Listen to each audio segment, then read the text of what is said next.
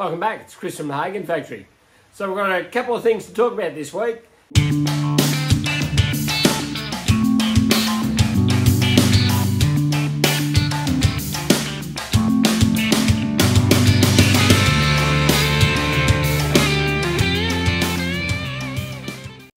Rightio, so the future of the Hagon Factory.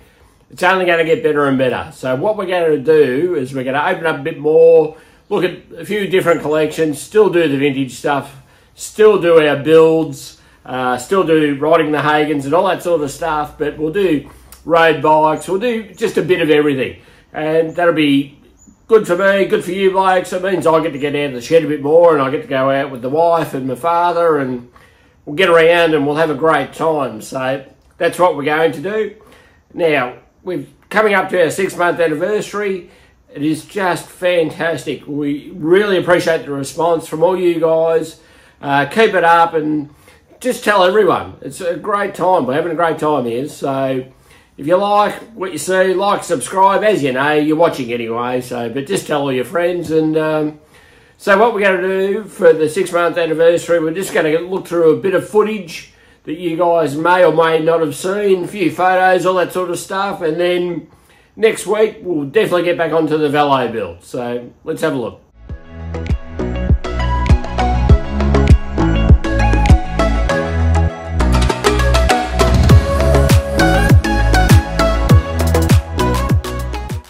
Righto. So we're just heading out to my father's, see what's going on out there. I've got to pick up the front wheel. Uh, it's only a 21. Um, came with we're putting the 350 Velo engine in. Um, I don't think I'll use it because I'm having the other wheel built with the 23 inch rim on it. So we'll just see what's going on out there. I think there's a few tyres out there and a set of handlebars I need to pick up as well.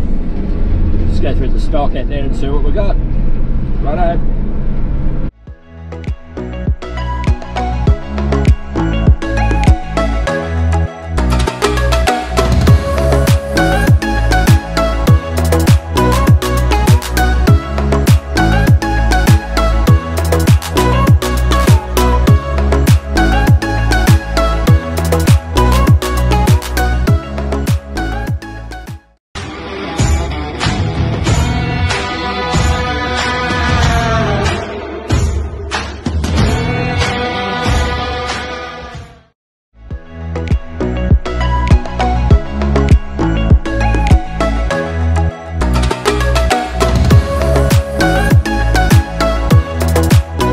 This is my father, Alan. Um, you've seen him before on some of the videos, but he's going to give us a quick rundown on what he's done to the 350 engine.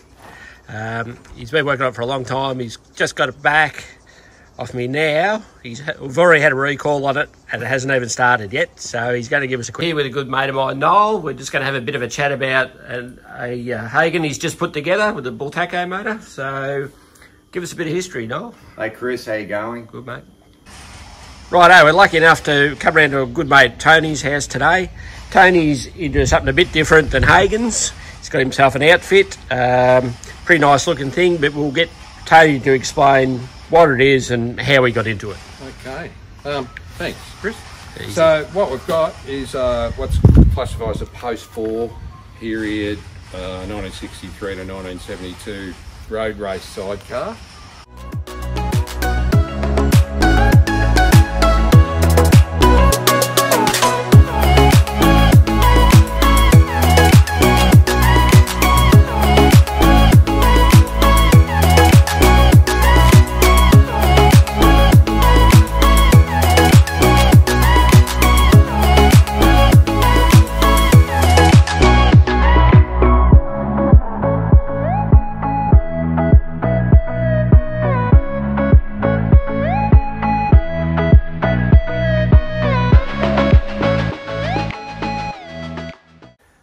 Righto, same as every other week. If you like what you see, like, subscribe, tell your friends, tell everyone.